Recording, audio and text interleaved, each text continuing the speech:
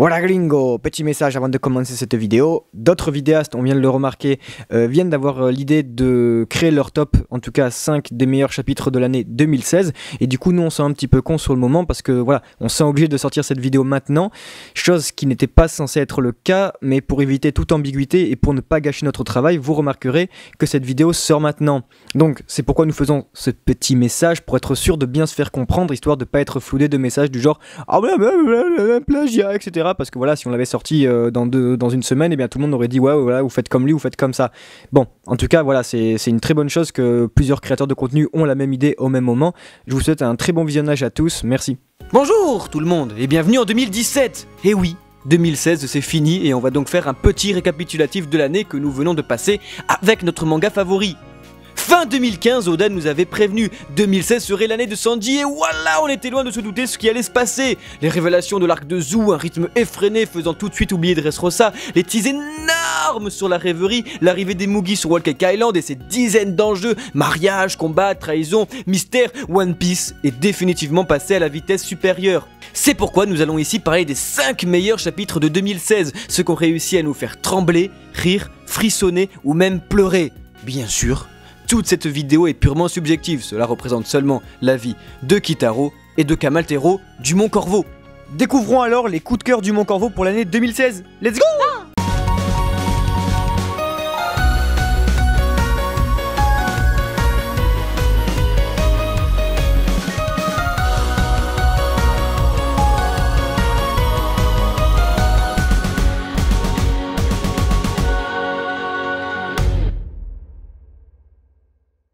Mego. Nous commençons ironiquement avec le dernier chapitre de 2016. Nous pouvons voir que dans les dernières pages de l'année, Eiichiro Oda tenta de finir en beauté en nous rapprochant du dénouement de l'arc de Big Mom. Ce chapitre, intitulé donc Mego, est la définition même d'un excellent cliffhanger, car en effet, toutes les intrigues se rejoignent enfin. En seulement 14 pages, nous retrouvons tous les acteurs de l'arc, l'intrigue principale se resserre, le suspense monte d'un cran, les dessins du maître font très très bien leur boulot, les larmes de Sanji nous brisent le cœur, car nous n'avons jamais eu de moment aussi touchant avec notre cuistot préféré. Et pour la toute première fois de l'histoire de One Piece, nous avons un Brook plus charismatique que n'importe quel autre personnage. Nous avons enfin un Mugiwara qui s'oppose physiquement à un empereur. Et c'est Brook. Chaque page offre un lot de haine, de tristesse, de colère, jusqu'à l'arrivée de Jimbei pour redonner de l'espoir au Mugiwara et par la même occasion au lecteur. C'est simple, nous n'avons jamais autant attendu un mariage. Surprise, en 2017. Chien contre chat. On continue cette fois en retournant au début de 2016 qui fut constitué de l'arc de Zou, découverte d'un éléphant géant, des ninjas, des minx et de leur loyauté. Eh oui, leur loyauté. Le chapitre 816, intitulé Chien contre chat, fut le plot twist de 2016. Mon dieu, quelle fin de chapitre Chaque fan en était tout simplement mindfuck par ce retournement de situation. Alors que nous pensions les minx torturés par Jack et ses hommes pour de fausses accusations, la vérité nous était passée sous le nez comme ça, sweep, et ça depuis une de chapitres. Alors que la tension monte entre Inuarashi et Nekomamushi, Kinemon s'avance et demande des nouvelles de leur ami Raizu. Et, et oui, c'est entrecoupé de flashbacks de torture affirmant qu'ils ne connaissent pas le ninja, de pleurs et de surprises générales que les deux dirigeants des Minx se mettent à genoux et annoncent que Raizu va bien OMG C'est tellement shonen que tout fan a craché ses Coco Pops en découvrant ce retournement de situation Un mélange de what the fuck et émotion, ce chapitre est une réussite Encore une fois, alors que des centaines de fans théorisaient sur le sujet, Eshiroda a réussi absolument à piéger tout le monde via une écriture quasi parfaite. On n'y a vu que du feu. Luffy versus le commandant Crackers. C'est durant l'été 2016 que commença la troisième guerre mondiale. Quoi Vous vous en rappelez pas? Bon, on vous fait une petite piqûre de rappel. On retourne à l'arc de Wall Cake Island. Oui, bon, mon corbeau n'aime pas trop la chronologie. Et on retrouve cette fois-ci le chapitre 836, dont le titre annonce tout de suite la couleur. Luffy versus le commandant Crackers.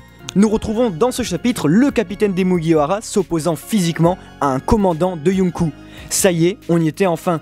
Nous allions enfin savoir, Luffy a-t-il le niveau d'affronter un empereur? Et alors que le chapeau de paille se fait tout simplement maltraiter pendant 10 pages, la dernière a eu l'effet d'une bombe atomique. En effet, alors que tout espoir était perdu, Luffy ressort son Gear 4 pour envoyer valser au loin le méchant cracker. Alors, comment dire? Ce chapitre a tout simplement explosé la fanbase. Il a tellement fracassé que les fans se sont divisés en deux. Ceux qui pensaient que Crackers était vaincu et ceux qui pensaient que Luffy était très très loin d'être sorti de l'auberge.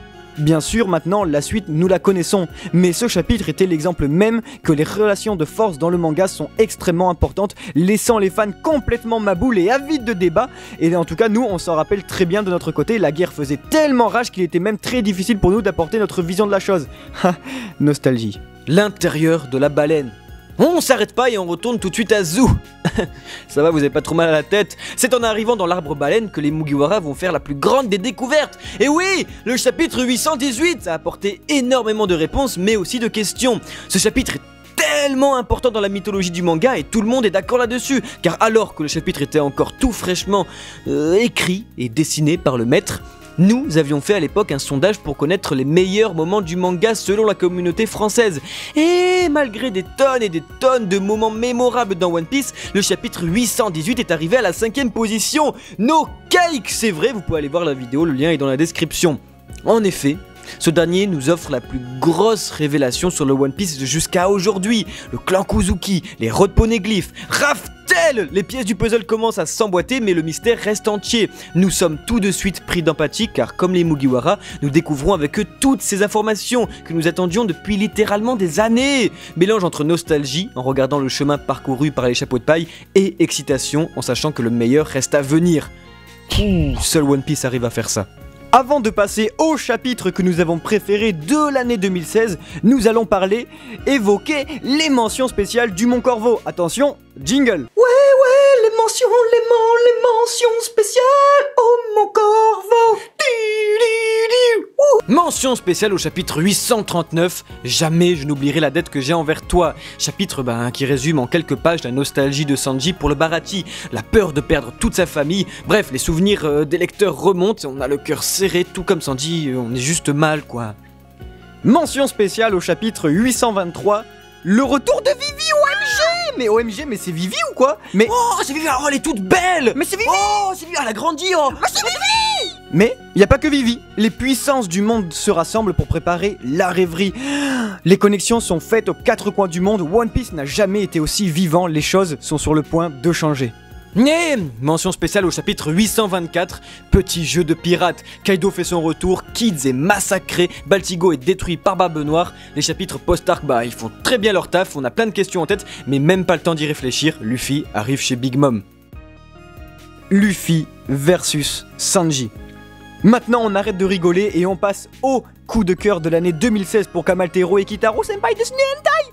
Le chapitre 844, Luffy versus Sanji. Déjà, rien qu'avec le titre, on sait qu'il y a quelque chose qui cloche. C'est simple, à l'époque, bon, c'était un moment très difficile pour le Mont Corvo, le goût des vidéos n'était plus d'actualité, nous vous en avions parlé, nous avions fait une pause, sans manga, sans rien, et alors que nous sommes les premiers à évangéliser la France sur One Piece, nous étions les premiers à en avoir besoin. Et One Piece est venu. C'est le jeudi 27 octobre 2016 que nous avions retrouvé One Piece avec tout simplement le meilleur chapitre de l'année.